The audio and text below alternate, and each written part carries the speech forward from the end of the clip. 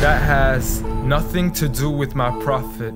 Please just stop it. It doesn't make any sense. That's not the message he sent. That's not what he meant. That's not why he came. So you can claim as much as you want to, but I assure you the man I follow was not the same. See, I know a man who forbade the cutting down of a plant who even spoke against those who had burnt an ant. So why is it that I simply can't understand how we claim to follow the same man? I mean, I know a man who forbade us from harming the innocent, saying he who does so would not only be prohibited from paradise, but he would not even smell its scent. So please tell me how what you're doing has anything to do with the message that he sent. This is the man who forbade us from even scaring cattle with a knife, saying you have no right to let the animal die twice. And when he was asked for advice, he'd reply, Don't get angry, don't get angry, don't get angry, repeating it thrice. See, I know a man who called to patience first, even to those who had treated him the worst. And when he was asked to invoke Allah's wrath, he said, I was not sent to curse, but rather as a mercy to the earth. Matter of fact, the entire universe, meaning everything that was made. See, this is a man whom the clouds would rush to shade, a man to whom the trees would sway and the birds would flock to seek his aid. For they knew he was a man of justice, a man who would never betray, a man who could be trusted even by those who had wanted him slain. See, bin Malik served him for 10 years, and not once had he heard him complain.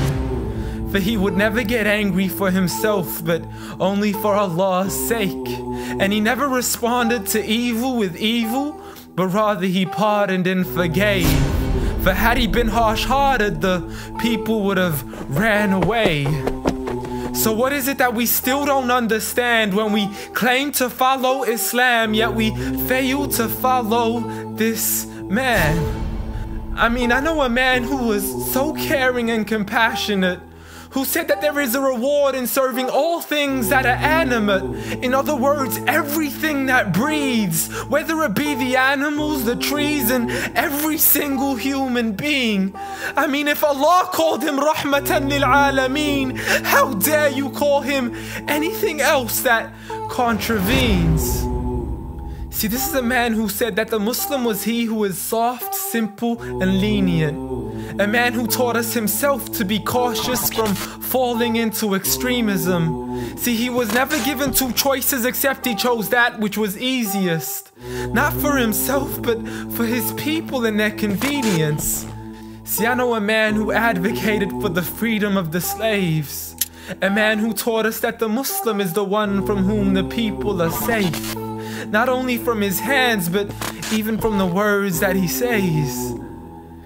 See, this is a man who would never mock, mimic, nor ridicule, nor would he ever publicly rebuke an individual. This is the man I follow, so forgive me if this sounds unusual. But the man I know was so much more handsome, so beautiful.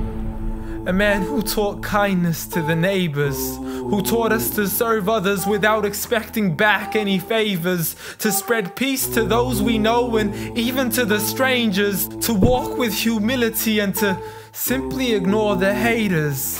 But nevertheless, I know a man who still taught us to stand up for the oppressed. From the men, women, and children who call out to us in distress. I know a man who taught us to fight for these people, but by no means does this mean we have the right to transgress. For those who oppress have nothing to do with his name. So you can say what you wish to say and continue to defame his name, but at the end of the day, I assure you, the man I follow was not the same. Muhammad sallallahu alayhi wasallam.